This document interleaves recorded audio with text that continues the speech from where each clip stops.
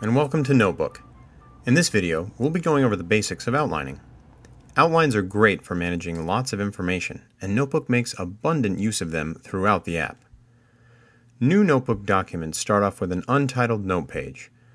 I'm going to take some notes in a meeting, so I'm going to rename this page Sales Meeting. Now I'll start typing my notes. The person who called the meeting is going over the agenda. I press return to end editing and then return again to create a new item in the outline. The first topic on the agenda is an update from the last meeting.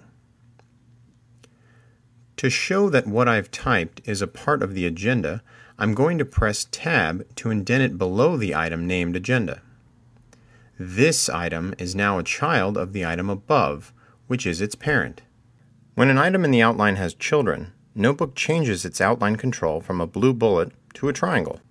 I can unindent an item by pressing Shift Tab, but right now I'm going to type the rest of the agenda.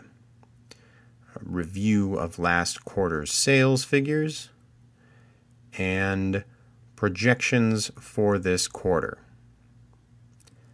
What's great about outlines is if I don't want to see these agenda items, I can just click the parent's triangle to collapse it and hide its children. Clicking again expands the parent. If I need to rearrange items in the outline, I just drag an outline control and move the item to its new spot. Those are the basics of creating outlines in Notebook.